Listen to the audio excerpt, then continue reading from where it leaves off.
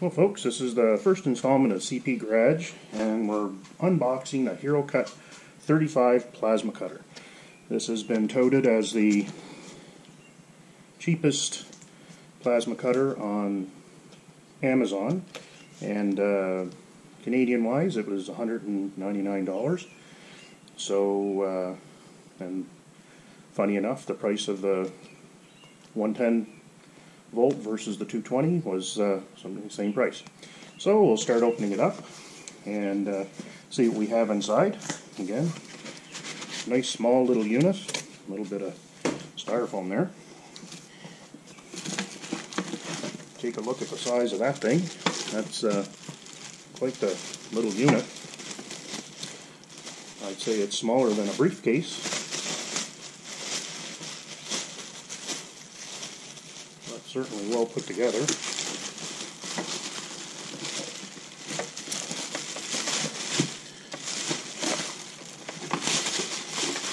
Yeah, that's pretty small. Yeah, and in contrast, that's uh, there's the hand, and that's the size of the unit. So I'm not sure exactly uh, how well this thing's going to work, but that'll be the next video. So when you look at it, you got your current, and you got the adapter for the whip, as well as your ground. Looks pretty good. On the back, certainly got your air in, your power, and your mounting points for the uh, for the regulator. And uh, well, for 220, that's a pretty small wires, uh, as you can see. Uh, but uh, we may have to beef that up a little bit. But clearly uh, it is marked uh, 220 volts, so this is the right one.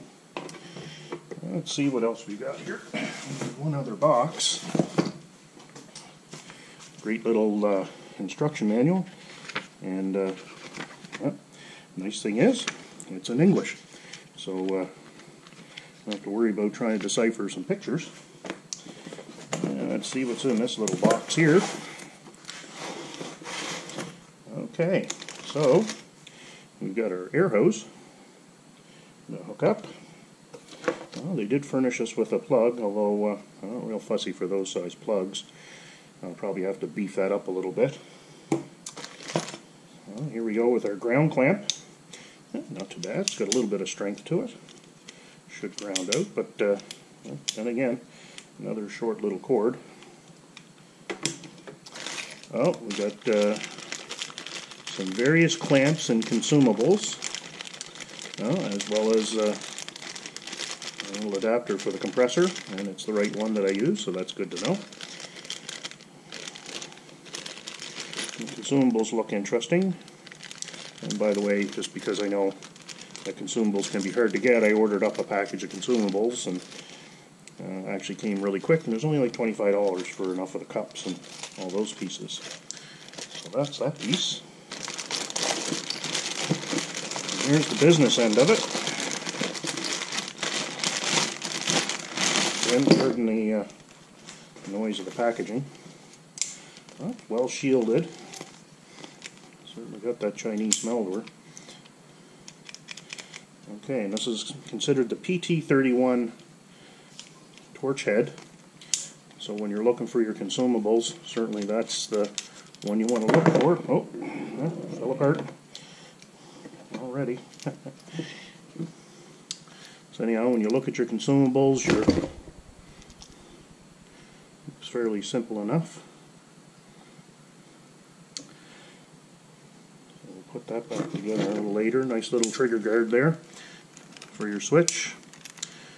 And again, enough for your air and for your electricity. that's that one.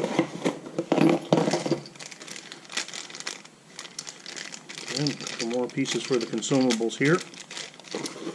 What's in this great little box here? Oh yes. There is your regulator and mount for your compressed air. And again, you got to keep in mind that it's got to be super dry. So I run everything through, all my tools and everything through a dryer, um, just to make sure that it doesn't gum up my tools so putting this through dry air is not going to be a problem. So, all in all, that is a nice little, uh, nice little setup, and it'll go well on the welding cart. Again, you take a look at her.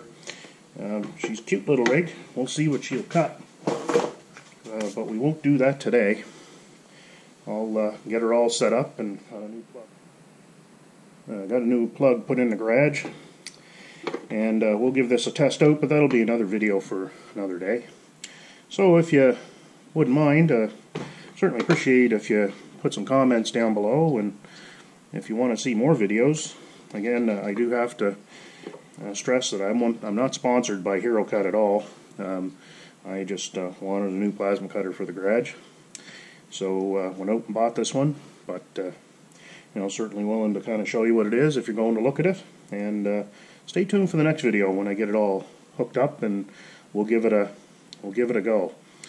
Anyhow, that's uh, that's all we have for today. Thanks for stopping in CP Garage, and uh, stay tuned for the next video.